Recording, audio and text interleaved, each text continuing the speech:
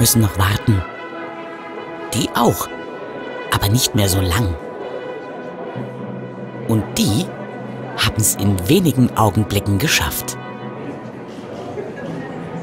Ein persönlicher Händedruck von Ministerpräsident Horst Seehofer und seiner Frau Karin beim traditionellen Neujahrsempfang der Staatsregierung 2014.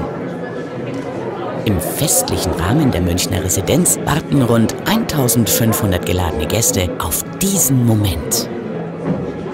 Für alle gibt es persönliche Wünsche zum neuen Jahr, ein Händeschütteln und ein Lächeln des Ministerpräsidenten.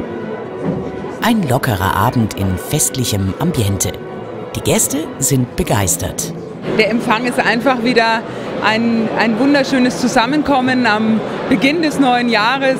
Toll, jedes Jahr wieder großartig, weil man so viele interessante Menschen trifft. Alle freuen sich, Ministerpräsidenten ein gutes neues Jahr wünschen zu können. Beeindruckend, atemberaubend, wirklich.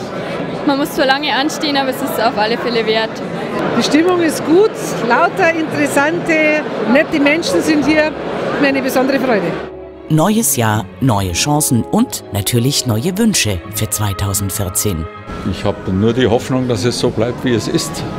Man darf sich glücklich schätzen, wenn man äh, nach äh, harter Arbeit auch so viel Glück gehabt hat. Und dieses Glück äh, erhoffe ich auch für das jetzt gerade angebrochene 2014.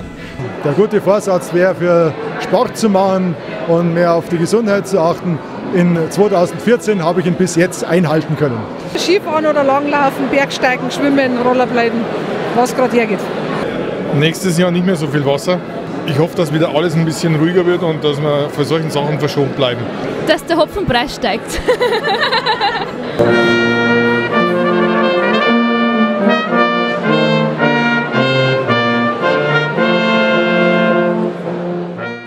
Nachdem der Ministerpräsident wirklich alle Hände geschüttelt hat, gab es noch eine kleine Ansprache für die Gäste mit einem ganz persönlichen Geständnis. Es ist äh, wunderschön, immer den Menschen zu begegnen, das macht Freude, aber es ist ein ganzes Stück anstrengender als der politische Aschermittwoch in Passau.